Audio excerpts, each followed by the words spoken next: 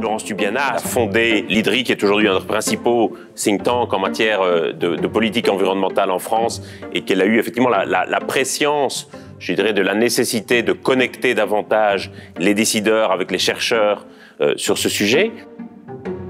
Effectivement, on est dans une sorte de contradiction, puisque à la fois il y a urgence à agir et que si nous n'agissons pas très rapidement pour infléchir la courbe des émissions de gaz à effet de serre, mais on sait que nous allons dans le mur et que nous ne respecterons pas les objectifs de l'accord de Paris.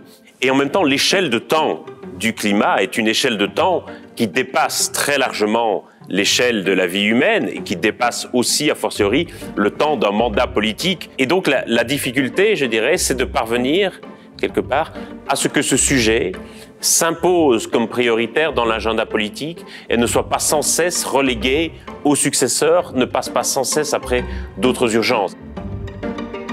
Elle a réussi quelque part à se mettre en phase avec ces jeunes, à les soutenir dans les revendications.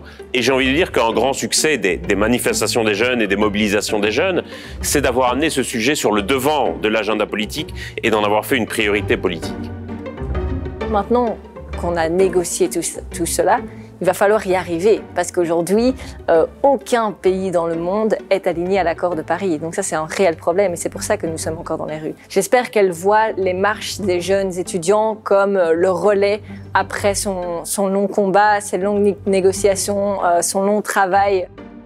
Ce que j'aime beaucoup chez Madame euh, Toubiana, c'est que le citoyen peut vraiment faire partie de la solution. Elle a d'ailleurs été coprésidente de la Convention citoyenne pour le climat en France. Donc c'est vraiment cette idée que le citoyen peut être au centre de l'attention, peut amener des idées, peut faire partie de ces négociations, de ces décisions. L'urgence climatique, ça va bien au-delà que juste euh, des émissions de CO2 ou des chiffres, etc. Non, on parle vraiment aussi de peut-être recréer une nouvelle démocratie dans le monde dans lequel on vit.